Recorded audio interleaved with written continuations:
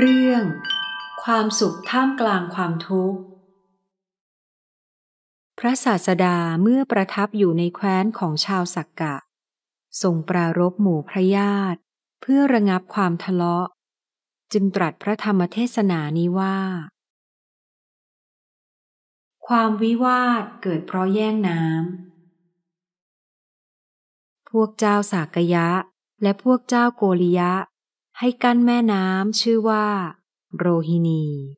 ด้วยทำนบอันเดียวกัน ในระหว่างนครกบิลพัทกับนครโกริยะ แล้วให้ทำข้าวกล้า ถึงต้นเดือนเชษฐมาศคือเดือนมิถุนายน เมื่อข้าวกล้าเหี่ยว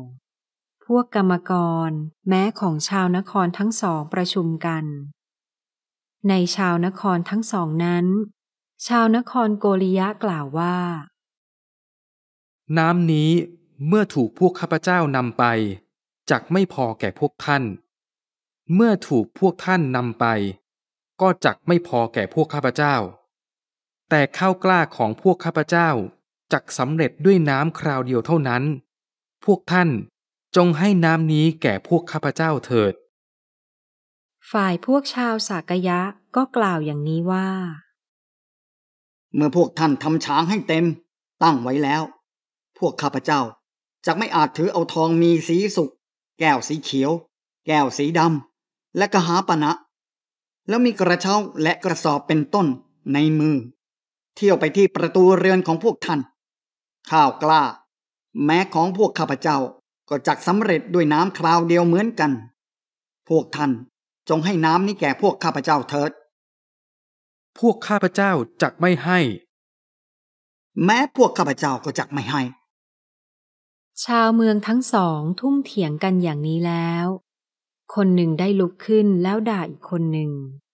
แม้คนผู้ถูกด่าก็ด่าว่าคนอื่นๆ ใช้คำพูดกระทบกระทั่งถึงชาติแห่งราชตระกูล ก่อความทะเลาะวิวาทกันขึ้น พวกกรรมกรชาวโกริยะกล่าวว่า พวกเจ้าจงพาเด็กชาวเมืองกบิลพัทไปเสียเถิด ชนเหล่าใดอยู่ร่วมกับพวกพี่สาวน้องสาวของตนของตน เหมือนสุนัขบ้านและสุนัขจิ้งจอก ช้างมา้า โล่ และอาวุธทั้งหลายของชนเหล่านั้นจะทำอะไรแก่พวกข้าได้ ฝ่ายพวกกรรมกรชาวสากยะกล่าวว่า บัดนี้ พวกเจ้าจงพาพวกเด็กขี้เรือนไปเสียเถิด ชนเหล่าใดไม่มีที่พึ่ง ไม่มีคติ อยู่ที่ต้นกระเบา ดุจสัตว์เดรัจฉาน ช้าง ม้า โลและอาวุธของชนเหล่านั้นจะทำอะไรแก่พวกข้าได้ ชนเหล่านั้นต่างฝ่ายต่างไปบอกแก่พวกอำมาตย์พวกอำมาตย์ทูลแก่ราชตระกูล ลำดับนั้น เจ้าสักยะทั้งหลายคิดว่า พวกเรา จักแสดงเรี่ยวแรงและกำลังของเหล่าชน ผู้อยู่ร่วมกับพวกพี่สาว น้องสาว แล้วตระเตรียมการยุทธออกไปแล้ว ฝ่ายเจ้าโกริยะทั้งหลายคิดว่า พวกเราจักสำแดงเรี่ยวแรงและกำลังของเหล่าชน ผู้อยู่ที่ต้นกระเบา ดังนี้แล้ว ตระเตรียมการยุทธออกไปแล้ว พระศาสดาเสด็จห้ามพระญาติ แม้พระศาสดาทรงตรวจดูสัตว์โลกในเวลาใกล้รุ่ง ทอดพระเนตรเห็นหมู่พระญาติแล้วทรงดำริว่า เมื่อเราไม่ไป พวกญาติเหล่านี้จักฉิบหาย การที่เราไปก็ควร ดังนี้แล้วจึงเสด็จทางอากาศพระองค์เดียวเท่านั้น ประทับนั่งโดยบัลลังก์ในอากาศ ณ ท่ามกลางแม่น้ำโรฮินี พระญาติทั้งหลายเห็นพระศาสดาแล้วทิ้งอาวุธ ถวายบังคม ครั้งนั้น พระศาสดาตรัสกับพระญาติเหล่านั้นว่า มหาบอพิษพวกท่านทะเลาะด้วยเรื่องอะไรกัน พวกพระญาติกราบทูลว่า พวกข้าพระองค์ ไม่ทราบพระพุทธเจ้าค่ะ บัดนี้ ใครจักทราบเล่า พระญาติเหล่านั้นถามตลอดถึงพวกทาสและกรรมกร โดยคิดอย่างนี้ว่า อุปราชจักทราบ เสนาบดีจักทราบ เป็นต้น แล้วกราบทูลว่า ทะเลาะกันเพราะน้ำพระพุทธเจ้าค่ะ น้ำตีราคาเท่าไหร่ มหาบอพิษมีราคาน้อยพระพุทธเจ้าค่ะกษัตริย์ทั้งหลายราคาเท่าไหร่ ขึ้นชื่อว่า กษัตริย์ทั้งหลาย หาค่ามิได้พระพุทธเจ้าค่ะก็การที่ท่านทั้งหลาย ยังพวกกษัตริย์ซึ่งหาค่ามิได้ให้ฉิบหาย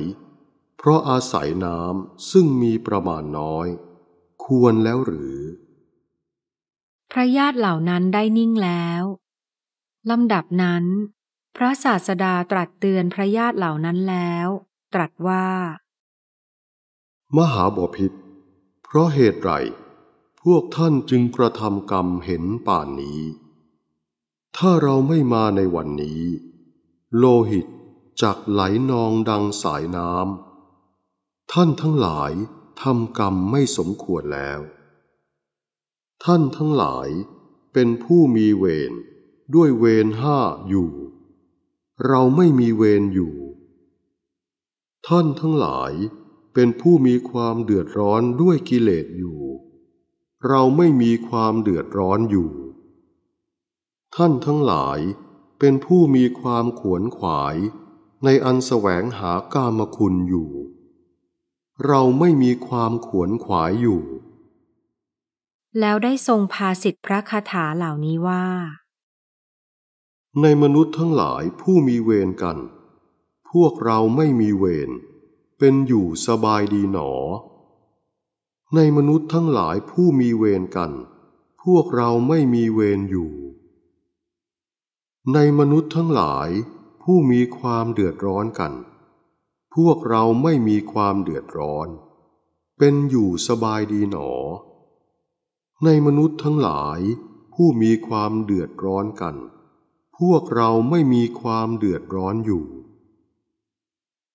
ในมนุษย์ทั้งหลาย ผู้ขวนขวายกัน พวกเราไม่มีความขวนขวาย เป็นอยู่สบายดีหนอ ในมนุษย์ทั้งหลาย ผู้มีความขวนขวายกัน พวกเราไม่มีความขวนขวายอยู่ ในการจบเทศนา ชนเป็นอันมาก บรรลุอริยผลทั้งหลาย มีโสดาปฏิผลเป็นต้น ดังนี้แลเรื่อง ความสุขท่ามกลางความทุกข์ จบ